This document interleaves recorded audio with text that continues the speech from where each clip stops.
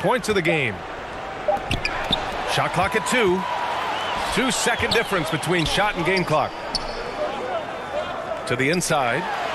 Chandler hits the layup after the sweet pump fake to free.